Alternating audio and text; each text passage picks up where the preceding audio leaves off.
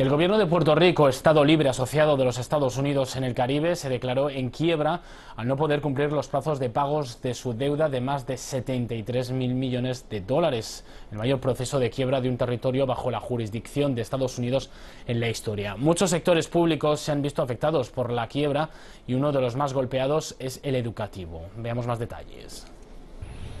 La Universidad de Puerto Rico es la más grande y antigua de la isla caribeña. Cuando nuestra reportera llega a sus puertas, estas y los edificios de esta institución están cerrados. No hay personas en sus recintos y por doquier se ven hojas caídas y suciedad que no han sido limpiados en mucho tiempo. Omar, estudiante de este centro de altos estudios, dice que los profesores y estudiantes sienten mucha insatisfacción por los recortes al presupuesto de educación y que el cierre de la universidad comenzó en marzo de este año lo que redundaría en menos servicio a los estudiantes, menos servicio al pueblo de Puerto Rico y alza en los costos de la matrícula a los estudiantes. Eh, bueno, entre los recortes que se piensa ver, pues va a haber menos clases, este, los profesores, va a haber menos profesores y los estudiantes pues este, pueden decidir si siguen estudiando aquí o irse del país.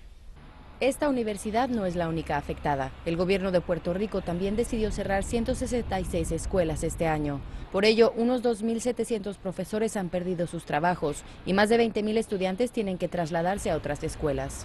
Esto nos va a ayudar eh, a realizar economía. Vamos a poder invertir más dinero en menos escuelas. Ya sometimos el presupuesto del Departamento de Educación al a OGP y representa una reducción de 10%.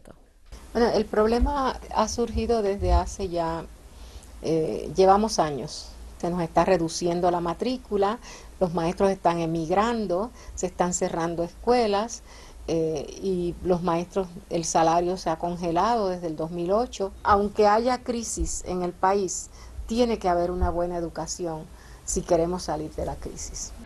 Puerto Rico lleva más de 10 años de recesión económica. La tasa de desempleo supera el 10%. Durante 10 años, unos 350 mil puertorriqueños, el 10% de la población, han abandonado la isla. Los ingresos fiscales del gobierno cayeron significativamente y fue por eso que tuvo que mantenerse por medio de préstamos. Ahora, después del anuncio de quiebra del gobierno, además del sector educativo, varios más como el de salud, infraestructura y el de pensiones de funcionarios del gobierno se han visto afectados también.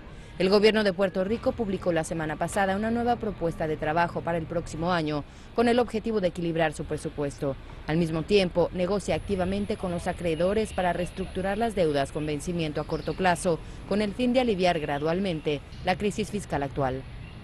CGTN, en español.